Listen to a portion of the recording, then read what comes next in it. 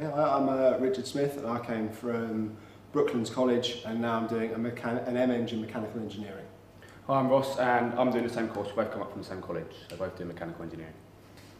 Yeah, so uh, Brooklands College, they basically are very closely connected with Brookes. They all work, they actually run a foundation degree which then students can feed in and do one more year to finish their bachelor's at Oxford Brookes. And uh, Brookes then supply them with things like old Formula student cars and old race cars that we can then work on at Brooklands College. So it really helps to, to bring some of the young, you know, young students up to speed, ready to come to Brookes and, and do their degree. Yeah, the uh, the uh, Brooklands course really good, especially for motorsport as well. I mean, Richard and myself are mechanical. However, you know, there's still a lot of very valuable stuff there that really did help us out. Very good college. So.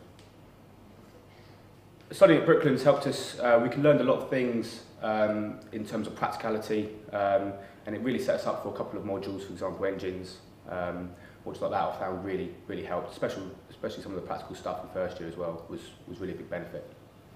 Yeah, I'd agree there. In the first year, we did a, a module where we did some machining, and then we also did some work in the auto lab, working on setting up race cars.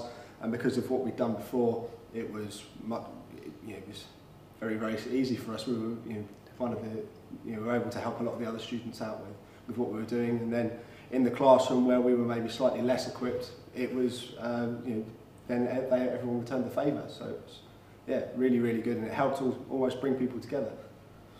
Yeah, the, uh, the practical experience that we've got in, in first year, there's a fantastic machine shop, and then also some of the, uh, the more um, kind of practical modules. So in first year and second year thermodynamics, we do some work in the engines lab, and then in uh, in materials, we actually do some material testing, or tensile testing materials to failure, which is very interesting to to actually understand and learn about.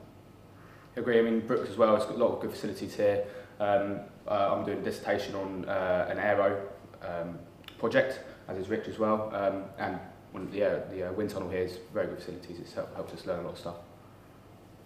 Okay, so one of the things that we do with the, the wind tunnel is we, we have a rapid prototype machine here at Brookes that we can actually 3D print out a profile that we've drawn in CAD and then we're actually able to mount this in the wind tunnel using the load cells in there and then we can measure the aerodynamic drag, downforce and things like that that might that whatever we're interested in in the wind tunnel. So that's actually part of my project is understanding how various geometry changes on a model will actually affect the aerodynamics. Um, and then testing that in the wind tunnel and validating my computer generated model that I've tested already with the, the experimental results.